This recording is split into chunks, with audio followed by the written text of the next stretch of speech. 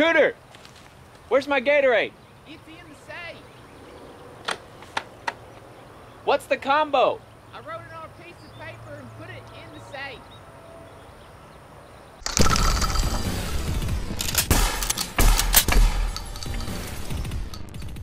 Welcome to Demolition Ranch. Today we have a safe and we're gonna pretend that Cooter has locked my Gatorade inside of it and we do not have a combination. So the only way to open it is by shooting it open. Just got some Walker Razor earmuffs. They are regular earmuffs except they have microphones in them so I can hear everything normally except it'll quiet down gunshots, which is pretty cool. I have this safe turned sideways first. I just want to see if a 22 long rifle will even go through the metal did go through the outside layer and there's our bullet right there. So it came through, hit the wall over there and dropped down. Will a nine millimeter hollow point out of the CZ Scorpion do the same thing? It knocked off less paint on the outside, which is kind of interesting. I assume it's because the 9mm is going faster, so it just punched through instead of slowly bending the metal and knocking all that paint off and 9mm went through the backside. Even with these holes here, we're not even close to getting into the safe yet to get whatever valuables there are out of it. So maybe we should turn it around and start working on the front side. These four bars here, I have marked on the front exactly where they are. So just in case I end up locking this thing to where I can't open anymore, I will know where they are. So these are the points I need to shoot at. So I sort of have an advantage over a bad guy who breaks in. He wouldn't necessarily know where he needs to be working on with his gun. So this is best case scenario for getting this thing open. Nine millimeters are good, but how about the 44 Magnum? I thought these hinges were gonna be a little tougher than this. 44 went straight through this hinge here and down into the safe door. Straight through it, I mean, look at that but did nothing for getting us closer to getting in. I was aiming for higher, trying to hit this little rod here, and I just missed it. Let's try it again. Dang it, I just missed it again. Right on the left side of it this time, but this one probably went into the interior of the door a little bit. Wow, a little dusty in there. I don't feel like breathing all that. I can see that it went out the back Oh no, it stopped. That's our 44 Magnum right there.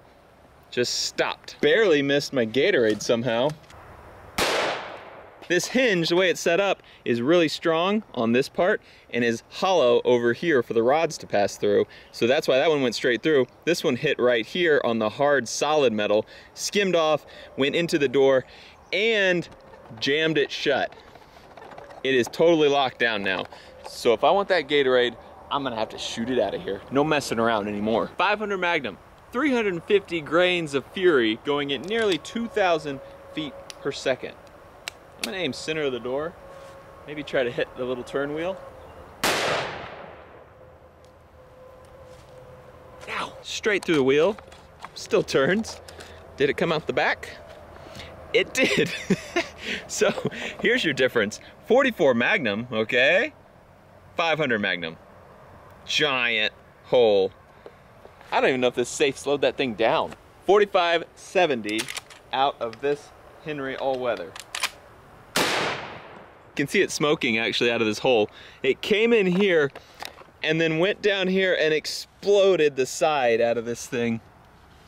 Hmm, I wonder. Nope, still got a hard metal on the inside there. So we're not really close to getting my Gatorade out yet and I am so thirsty. This time we're shooting some extreme penetrators. These are from Underwood Ammo. This is a ridiculous cartridge with a ridiculous bullet. It shoots these solid brass bullets which are designed to hit hard and penetrate deep. I love this because this shows you exactly how much more powerful certain rounds are. The 44 Magnum, remember, hit right here on that solid metal part and just deflected off. The 4570 hit right there and went straight through. It just kept on going. I don't know if it went through all the way. That is our 4570 coming out the back there. Extreme penetrated the whole thing. Wow, look at the bend in this. that door is taking some damage for sure. 5.56 out of an AR-15 does not have nearly the power that a 45-70 does, but it's really good at punching holes in metal. Straight through the solid metal part, but it made such a tiny hole that it really didn't do anything. Let's focus that AR-15 over on these bars. Haven't even shot that side yet. We'll see what it does.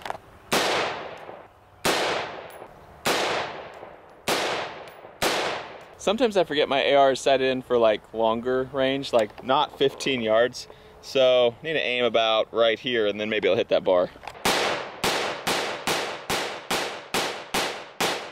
The door is actually popped out a little bit. It's still solid and stuck and not going anywhere, but I may have broken off that rod going through there. 762 by 39, also very good at penetrating metal, shooting out of my Century RH-10 AK.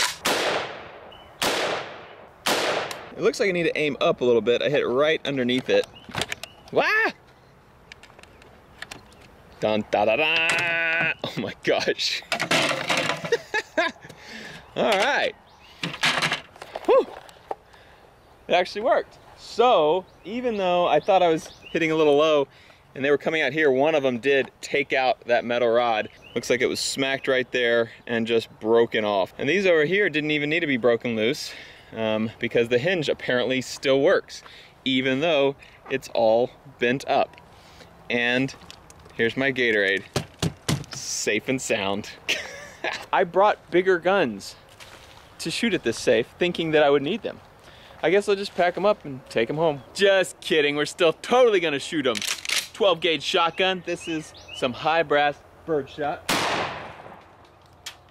Some double aught buckshot and a Magnum one ounce slug.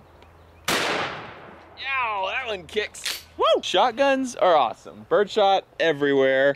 Buckshot was kind of centered high up there, up there, over here, some through here.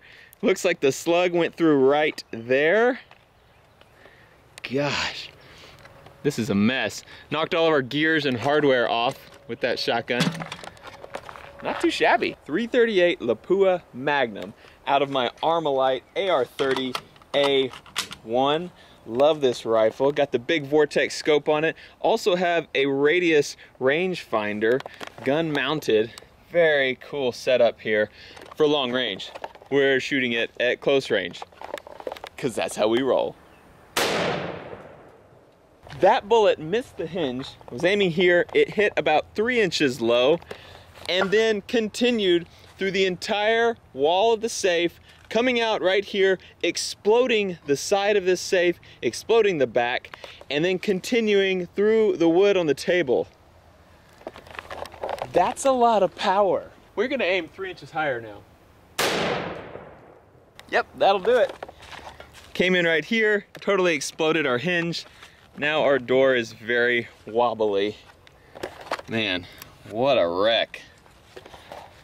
Looks like we got one hinge left. The 338 is a big bullet and a big cartridge, but it feels a little weird saying it's a big bullet when you're about to shoot a 50 BMG. That is a big one. One hinge left. This gun.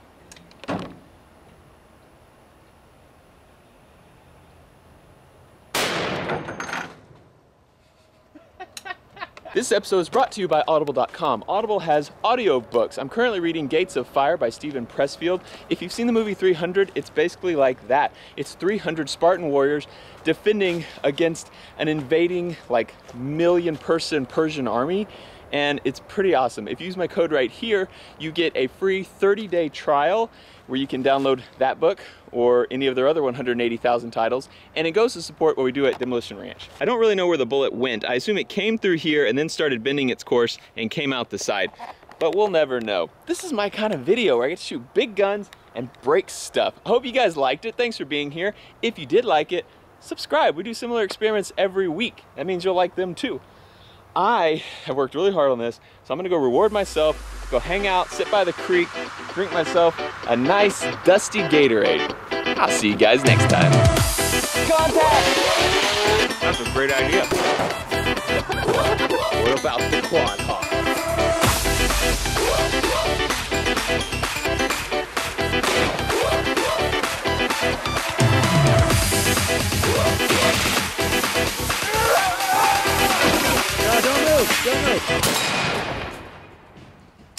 Bobby.